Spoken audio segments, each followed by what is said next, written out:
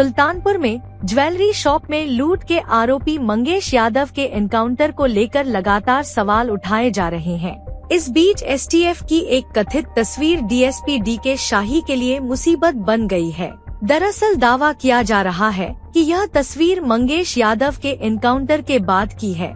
इस तस्वीर में डी के शाही चप्पलों में नज़र आ रहे हैं। चप्पल में एनकाउंटर को लेकर पहले सोशल मीडिया पर सवाल खड़े किए गए और अब इस मामले में डीजीपी को भी पत्र भेजा गया है। आज़ाद अधिकार सेना के राष्ट्रीय अध्यक्ष और पूर्व आईपीएस अमिताभ ठाकुर की ओर से इस मामले में डीजीपी को पत्र भेजकर जाँच की मांग की गई है।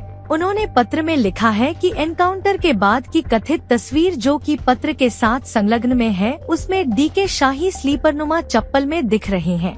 चप्पल की बनावट ऐसी है, जिसे देखकर समझा जा सकता है कि इस चप्पल में भागदौड़ करना पूरी तरह से असंभव है। जो चप्पल डी के शाही पहने दिख रहे हैं, उसे पहनकर कोई हल्के से भी नहीं दौड़ सकता। तेज़ी से दौड़ना और एनकाउंटर के समय घटित होने वाली अन्य स्थितियों का सामना करना तो बहुत दूर की ही बात है। उन्होंने आगे लिखा कि इतिहास में पहली बार दिखा है कि मौके पर क्रियाशील रहा कोई टीम लीडर ऐसे चप्पल में रहा हो। पुलिस का कोई भी व्यक्ति इस तरह के चप्पल में, इस तरह के कथित खतरनाक एनकाउंटर के बारे में सोच तक नहीं सकता है। इस कारण से यह चप्पल इस एनकाउंटर की विश्वसनीयता पर गंभीर सवाल खड़े कर रहे हैं। उन्होंने आगे इस मामले में जाँच की अपील की है।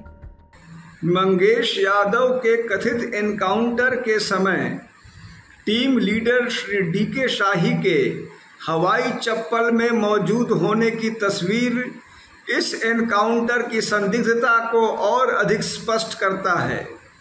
मेरी जानकारी और अनुभव में ये पहला दृष्टांत है, जब टीम लीडर कथित रूप से एनकाउंटर के समय चप्पल में मौजूद हूँ। मैंने डीजीपी यूपी को इन तथ्यों से अवगत करा के इस संबंध में प्राथमिक जाँच कर अग्रतर कार्रवाई किए जाने की मांग की है।